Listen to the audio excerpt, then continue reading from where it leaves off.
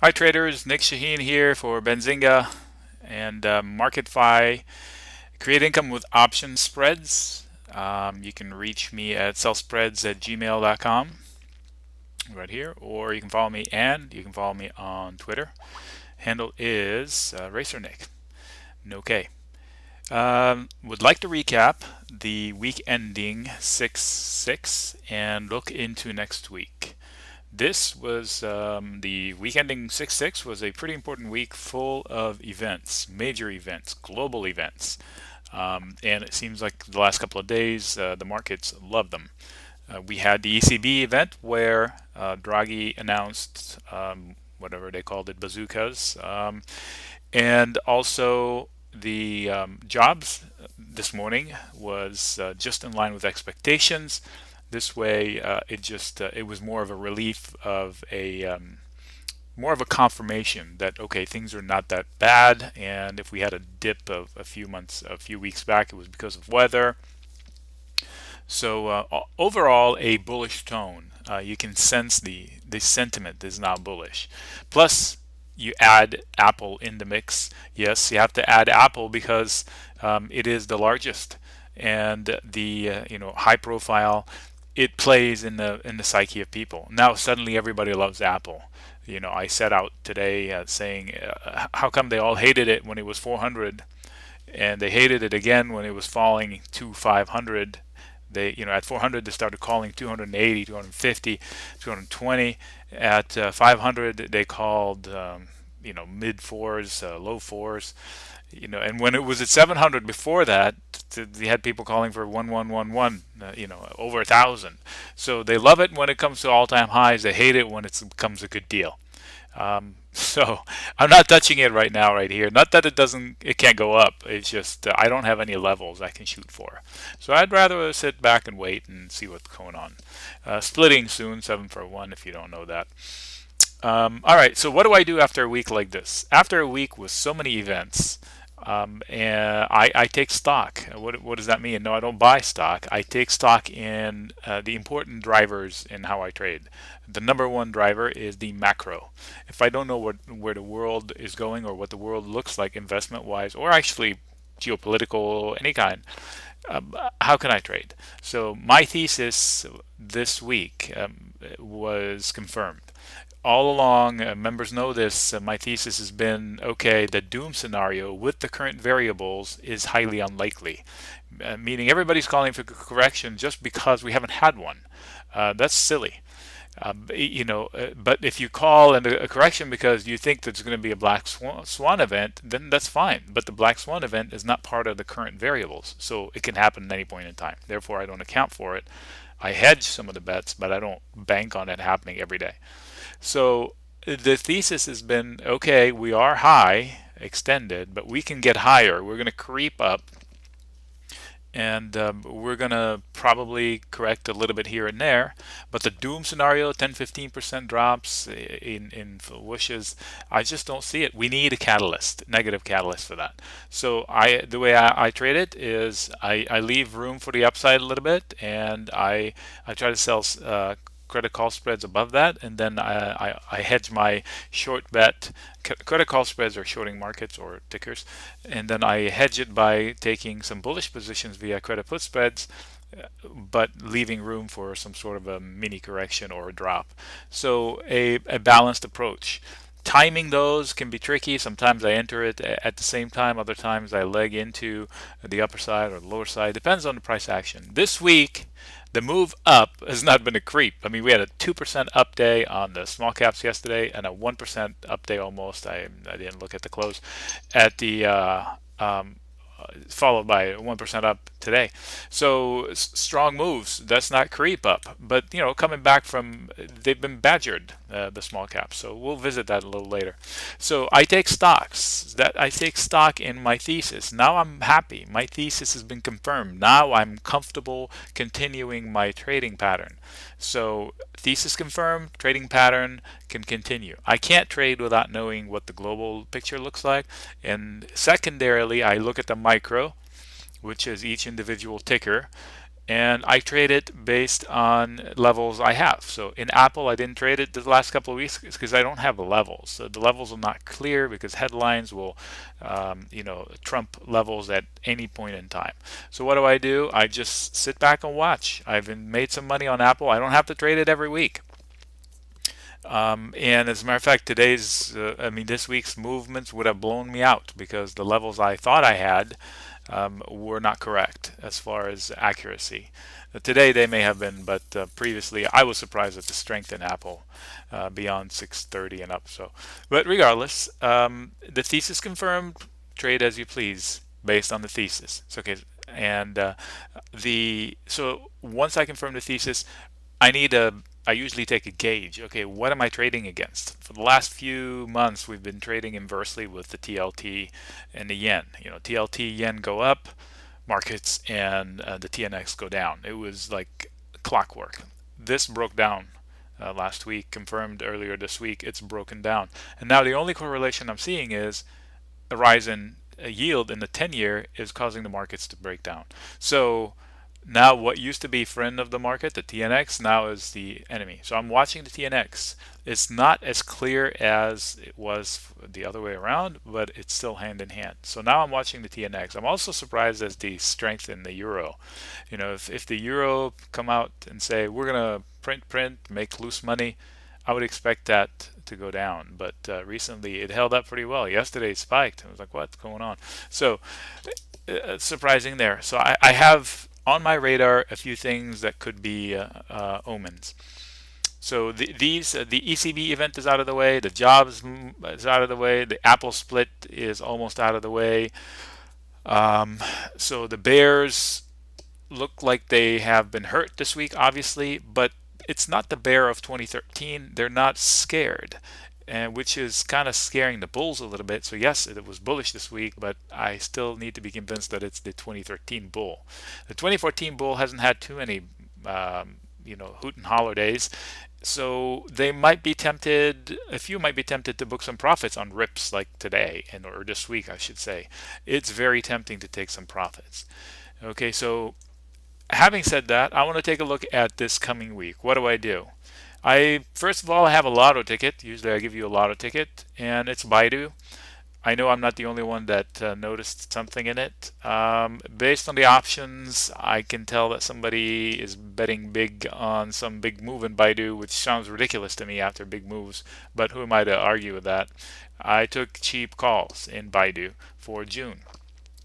Uh, that's my lotto ticket for this week. I have a couple other ones, but this one stands out. Uh, yesterday I wanted to take some Panera Lottos. Uh, unfortunately, I'm somebody else must have seen what I've seen, and it's spiked up today. It still might not be too late. Uh, we can visit that actually since we're talking about it. So Panera, Panera.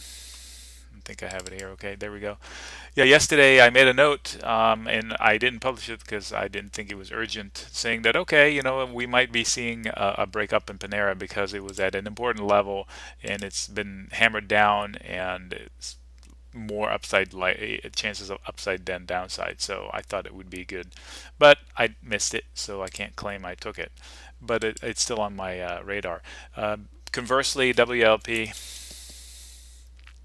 I think uh, yesterday I made a note that puts might work, and again I didn't act on it, but it's on my short. Uh, it was kind of like getting tight, um, and from a range perspective, because you know the, the dirty, just you know, not scientific. I, I don't like it's squeezing and it's cusping just instinct tells me um, also on the negative side I believe uh, RL Ralph Lauren and um, in that guy, I, I, I saw two. It, it's squeezing. Look how tight this is getting. And this is an important level here. It held, except for that massive candle, at this level area, and now it's uh, higher lows, but still butting up. Usually, uh, will the bears get tired of defending that line, or will they again badger the the, the longs. So I don't have any positions in it, but it might have a big move coming. I haven't take I haven't decided if I want to guess up or down. It is a guess. That's why I call them lotto tickets. Um, it, so th that was um, same thought. I think I, if I'm speaking from memory, Zillow. I don't trade it often, but it's looking the same way it's getting tighter and tighter at super elevated levels and I'm not sure that it is worth being up here. So on this guy I would definitely bet lower. That would be betting just guessing based on a move that's coming. I can see a move coming. I just want to guess which direction. And on this one I would guess lower.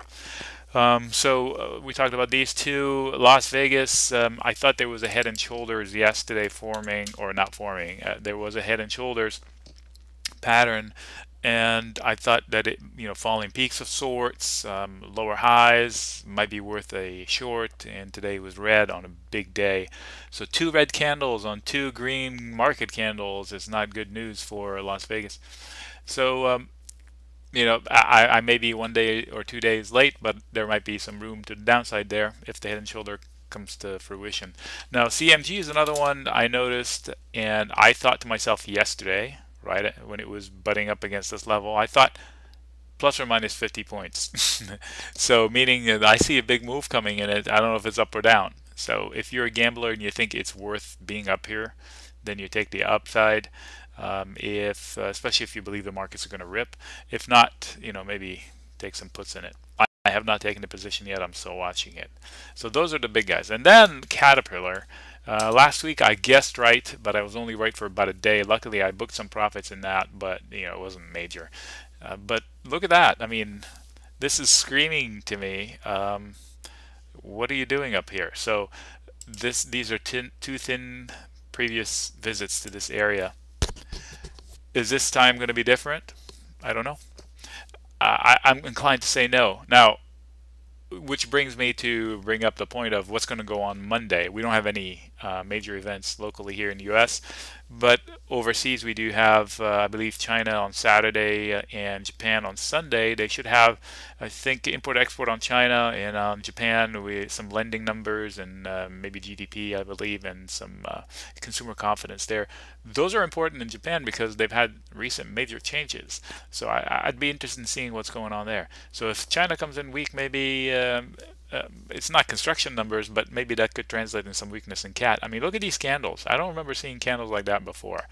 Um, and every spike in, not every, often enough spikes in Caterpillar uh, result in downs. If I'm looking at, this is a one-year chart. Here's a spike, here's a spike, here's a spike, here's a spike. You know, this spike obviously was down just for a short period of time and then ripped up. This is a spike that held and doubled up and then consolidated. This is a spike that held and spiked to no end.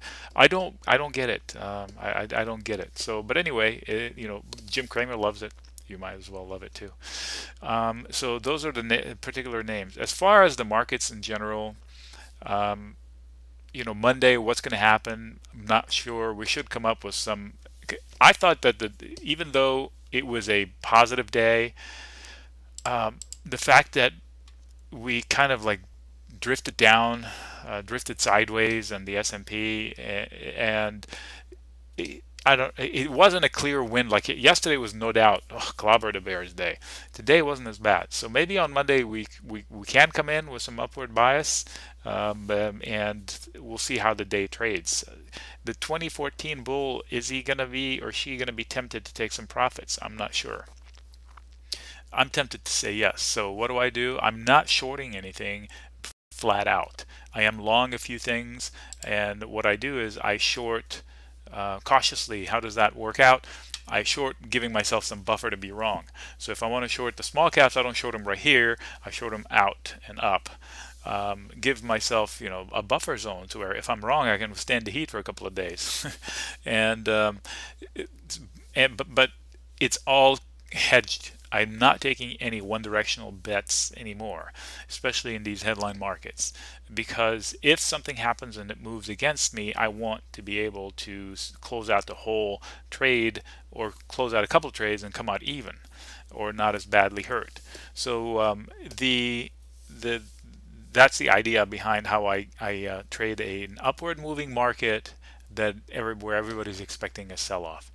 So give myself room on the upside and hedge the bets. So the markets uh, this week were obviously strong if but the overall picture let's look at the small cap since we mentioned it. Everybody said head and shoulders headed down to low low low.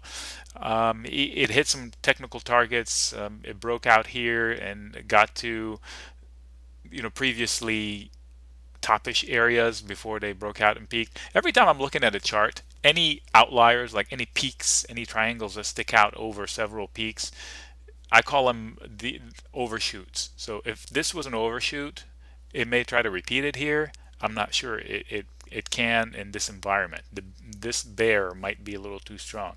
This is a solid area of trade. Uh, so I may be tempted to play this area for the next couple of weeks.